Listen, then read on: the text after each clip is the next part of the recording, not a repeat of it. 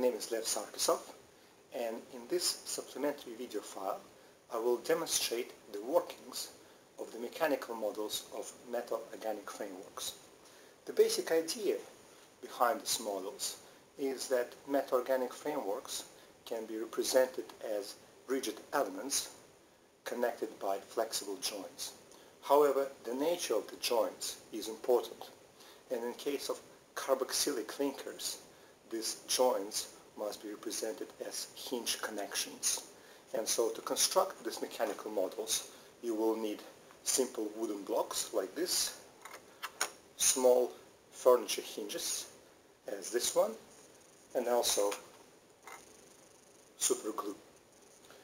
So in my first example, I will consider a single face of IRMOF 1 material. So in this mechanical model, the metal organic clusters are represented as these red cubes, wooden cubes. The dicarboxylic linkers are represented by these solid blue bars. These elements are connected by hinges, as shown here, and the hinges are oriented at 45 degrees to this plane.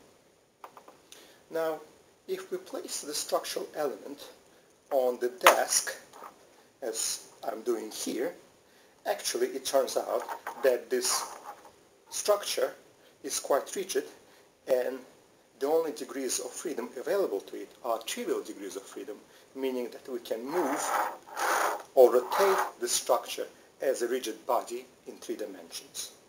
However, if I take the structure of the table, it actually happens to be quite flexible, and this is demonstrated here.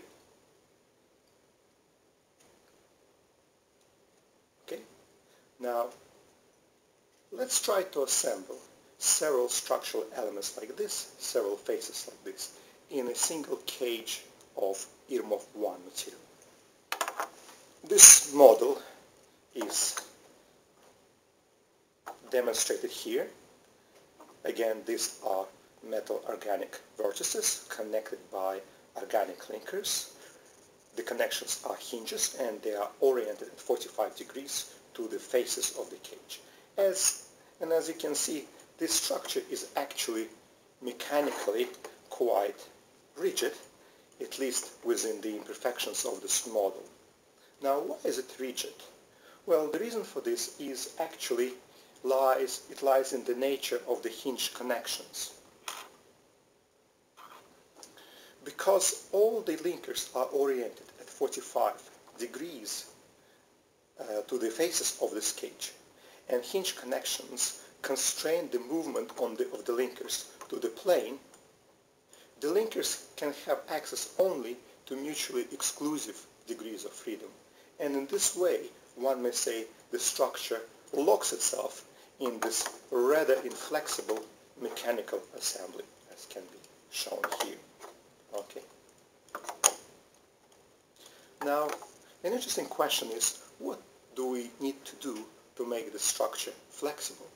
Well, for this, all you need to do is just orient this, this, this, and this linker so that the hinges are parallel to each other. In fact, this structure would be very similar to a mechanical model of MIL47 or MIL53 materials. And this is the next model that I would like to demonstrate. In MIL47 structure, the, the chains of metal oxygen atom, metal and oxygen atoms are uh, represented in this model as this solid red bar and again these red bars are connected by the carboxylic linkers uh, represented here as these blue bars. Now within this model all the hinges are oriented in parallel to each other that allows concerted movement of the whole structure making it very flexible.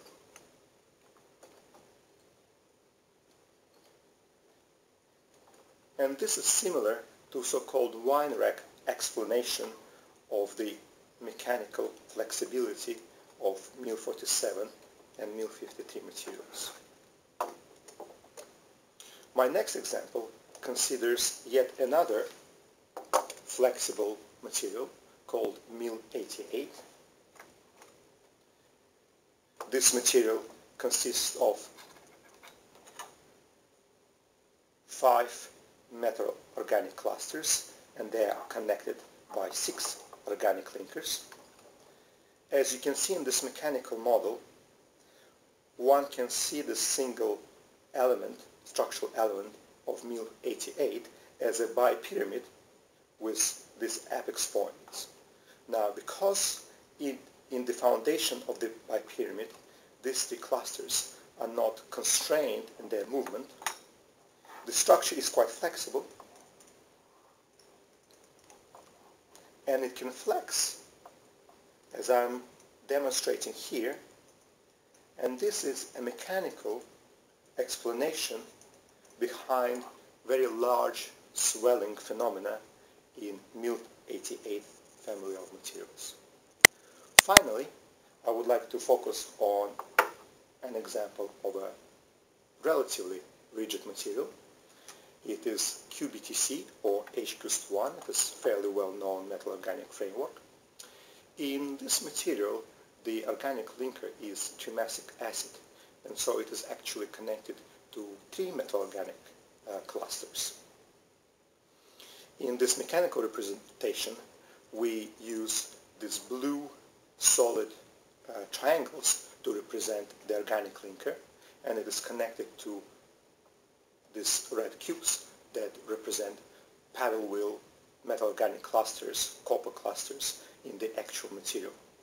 Now, as you can see, although the structure features a number of hinge connections, it is actually mechanically quite rigid, as I'm demonstrating here. And this is the end of this presentation. Thank you very much.